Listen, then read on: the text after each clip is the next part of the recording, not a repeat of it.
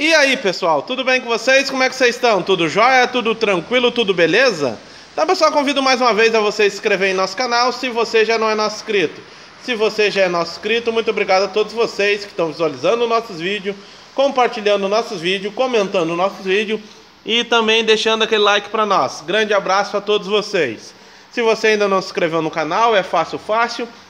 Basta clicar onde está escrito inscreva-se que você vai fazer parte do canal Oficina GTI e também da família GTI aí. Lembrando que todo dia a gente posta vídeo, mas não temos um horário definido para postar nossos vídeos. Mas graças a Deus, todo dia a gente está postando nossos vídeos aí para tentar ajudar vocês aí nas manutenções e até mesmo no, no intuito aí de mostrar para vocês como funciona aí uh, os veículos aí, né? Sendo aqueles que a gente mexe aí na oficina. Então hoje eu estou aí com esse mini quadriciclo. Ele é importado, ele é 125 cilindradas, semi-automático, frente e ré. E eu vou ter que arrancar o motor fora e vou ter que abrir o motor desse quadriciclo aí. Só deixa eu conferir que ano é esse quadriciclo. Bom pessoal, fui ver o, o, ano desse quadriciclo e não achei a plaquinha de identificação dele aí. Mas se eu não me engano esse quadriciclo é 2019 aí. E eu vou ter que abrir ele pelo um problema que está acontecendo aí nele aí, ó. Ele está com problema de vazamento de óleo. E eu acredito que tenha furado a camisa. Já vou mostrar para vocês aí. Então, pessoal, não sei se vai aparecer, ó, para vocês, mas ali naquele entre o cilindro e o bloco está correndo um combustível. Ou melhor, um combustível não, né? um óleo. Só frear aqui. Aí. Não sei se vai aparecer aí. Vamos tentar dar a partida para ver aí. Só puxar o fogadorzinho.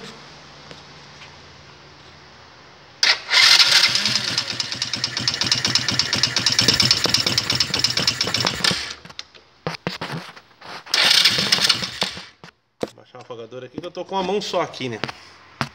Vamos de novo.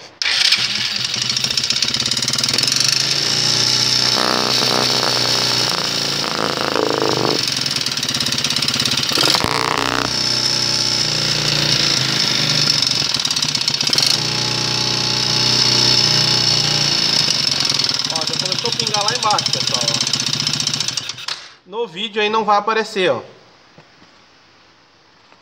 Não está aparecendo aí, ó. Mas está vazando entre uh, o bloco e o cilindro e não na junta. Então a gente vai estar desmontando ele aí e vamos ter que remover o motor daí de baixo para para a gente verificar o que está acontecendo, né? Então, diante disso, eu vou mostrar para vocês aí um meio que um passo a passo aí como desmontar, para vocês aí uh, ver como se desmonta o motor aí, né? Uh, lá embaixo já aparece a poça de óleo lá, ó, embaixo naquele papelão.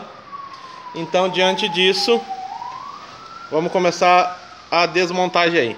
Primeiro, vamos remover o cano dele aí. Então pessoal, vamos remover o cano. O cano ele é preso por duas extremidades, certo?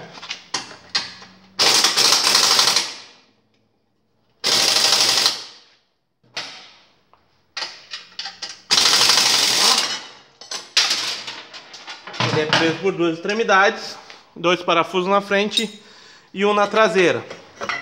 Então, diante disso, nós já removemos o cano dele aí. Então, agora vamos fazer o seguinte. Vamos soltar, ele tem mais dois pontos de fixação. Então, pessoal, ele tem mais dois pontos de fixação. Um ali e outro aqui.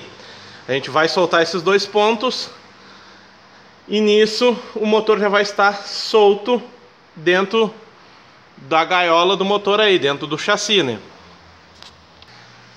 Então já tiramos o primeiro ponto. Vamos tirar o segundo ponto.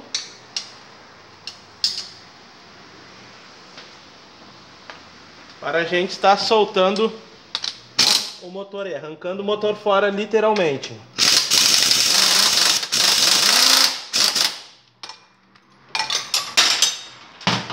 Então, nesse momento o motor já está solto nos parafusos.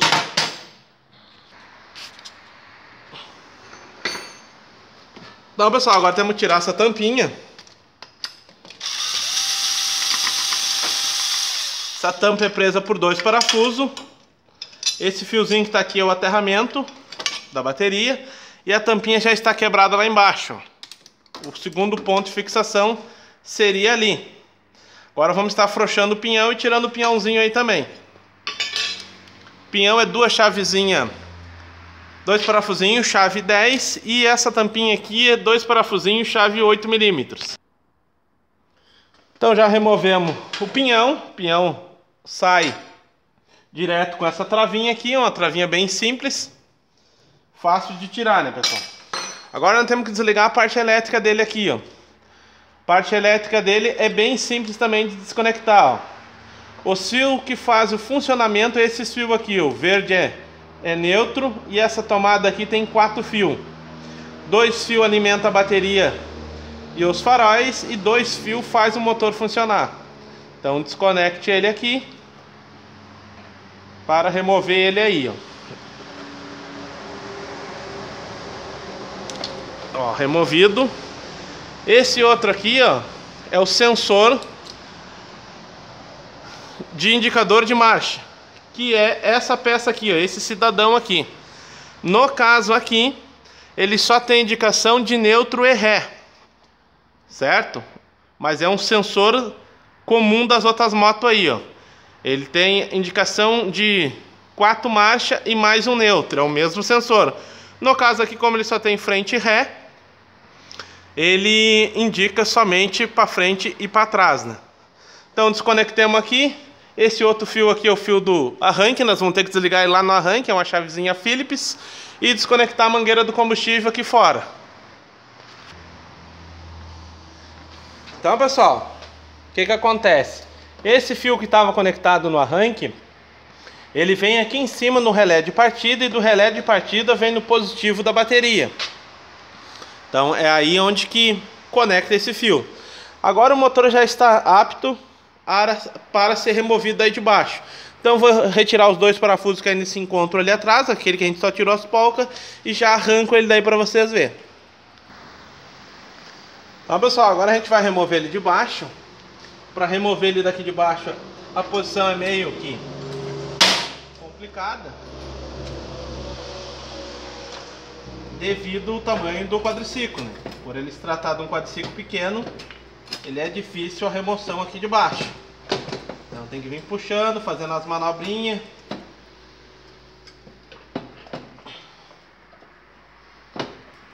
Para poder fazer a voltinha direitinho ali, onde ele tem que passar.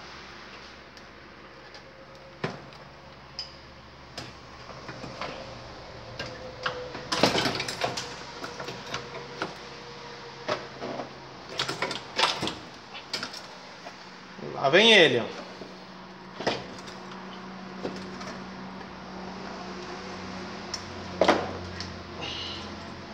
Lembrando, tem que tirar mais o pistonete aqui do carburador para liberar o cabo da aceleração, né? Ó. Arranquei fora.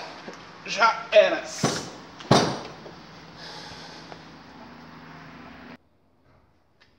Então, pessoal, já estamos com ele em cima da banca ali, ó. Certo? E aonde estava vazando é ali, ó. Então, agora o que, que a gente vai fazer? Agora a gente vai lavar esse motor bem lavado para poder desmontar o restante dele aí e não abrir esse motor com areia aí, né?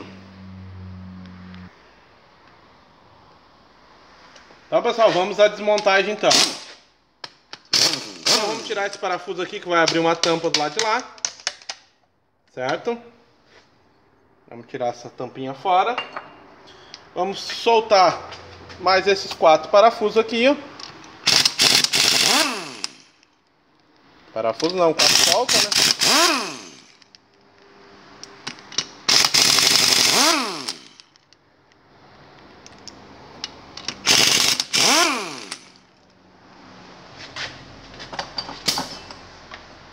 E vamos manobrar ele o contrário agora. Vamos tirar a tampinha aqui, ó. Aqui tem quatro arruelinhas. Por que que tá vazando óleo ali, pessoal? Eu acredito que deve estar rachado alguma coisa aqui. E o óleo ele sobe por aqui, vem por aqui, sobe por aqui, passa aqui e lubrifica toda essa parte de cima aqui. Essa parte de cima toda vem lubrificação aqui. Tem outros vídeos aí desses motores aí no canal aí e na página onde mostra mais detalhadamente aí. Deixa eu mostrar para vocês um detalhe. Todo aqueles buraquinhos ali, pessoal, vocês estão vendo nas peças internas, nesse aqui, ó, e ali, ó, tudo aquilo ali vem óleo. Ali tem um rolamento e aqui tem um rolamento, então tem que lubrificar os eixos. Sai óleo daqui por dentro lubrifica os eixos, lubrifica todas as articulações, aqui é o comando, que lubrifica tudo aí para funcionar 100% aí, né? Então, pessoal, aqui é a engrenagem do comando. Tem que tirar esse parafuso que eu já tirei, mais esses outros dois aqui. São três parafusos.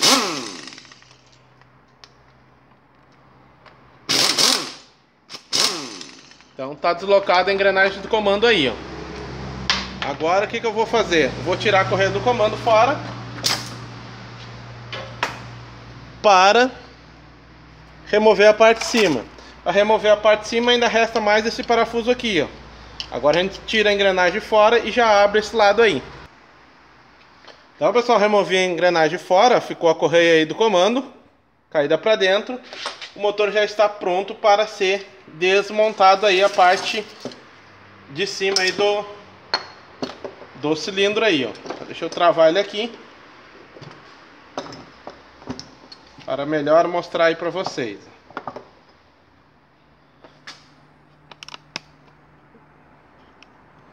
Ó. Então agora o que, que acontece? Agora a gente vai remover o cabeçote. O que, que é o cabeçote? Cabeçote é essa parte de cima aqui onde vocês já viram aí a gente retificando aí o cabeçote da Cinerai. Então aqui existe o cabeçote, ó. Veja como está o cabeçote. O óleo passa por esse duto aqui, pessoal. Ó. Esse é o duto que faz a alimentação aí do veículo. Parte de lubrificação. Ele é lubrificação forçada por bomba de óleo. Então aqui existe mais um parafuso. Certo? Tem que ser removido.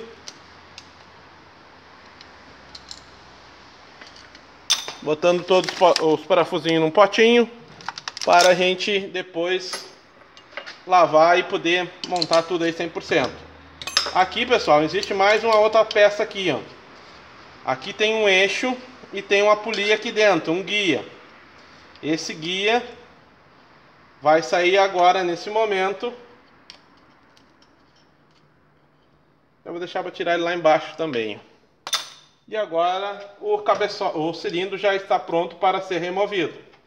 A gente só dá uma alavancadinha nele aqui devagarzinho para a gente remover ele aí com tranquilidade. A junta ela vai ressecando e com isso fica mais difícil de estar removendo aí, ó. Alguma junta ela acaba colando ainda.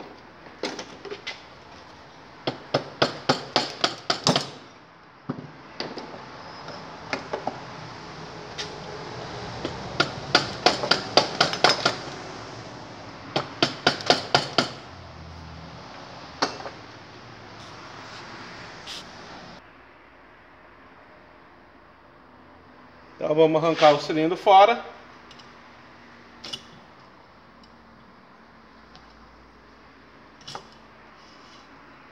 E aqui está o guia, pessoal. Correia eu vou largar aqui para dentro para ela não ficar empendurada. Esse é o guiazinho da correia. Esse é o guia interno. O motor mais complicadinho de montar é esse aí. Tem uma paciência com eles aí. E aqui está o cilindro certo? E lá está o pistão. Observe que, observe que eu vou mostrar uma coisa para vocês. como tava com esse defeito aí, ó, de um, tá perdendo pressão de óleo, ele acabou não lubrificando da forma que deveria.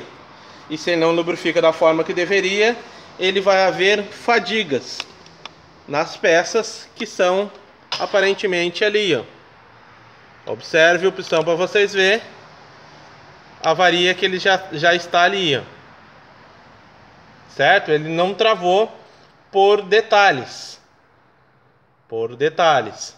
Aí depois vamos estar verificando aí como que tá como que tá o os anéis, se estão soltos ou não. Vamos ver se vamos montar com esse pistão ou não aí, né? Então, pessoal, como eu mencionei para vocês, ó, o óleo sobe por aqui, pela bomba forçada, já usa ah, o furo do cilindro e do cabeçote para subir para cima, para lubrificar o restante, e aquele furo maior ali, ó, o óleo ele acaba passando ali naquele furo. Aquele furo ali faz com que o óleo retorne de volta para dentro do, do motor. Então aqui ele prestoriza, aqui sai óleo prestorizado e ali vem por gravidade. Ali vem talvez até com um pouquinho de pressão, mas muito, muito pouca, né? Agora aqui ele vem com pressão de óleo, vem por, por bomba forçada, né? Então agora a gente vai limpar isso aí tudo. Então vamos limpar esse motor todo agora e vamos verificar o que, que está acontecendo ali para ele estar vazando aí. Então espero que vocês tenham gostado do videozinho. Esse é mais um videozinho. Uh, o vídeo de ontem aí já estava gravado aí e hoje é terça-feira e vim desejar para vocês aí uma semana abençoada a todos aí. Que Deus abençoe nós aí grandemente aí. Então, grande abraço a todos vocês. Se ainda não se inscreveu, se inscreve. Fiquem todos com Deus. Até o próximo vídeo. E fui!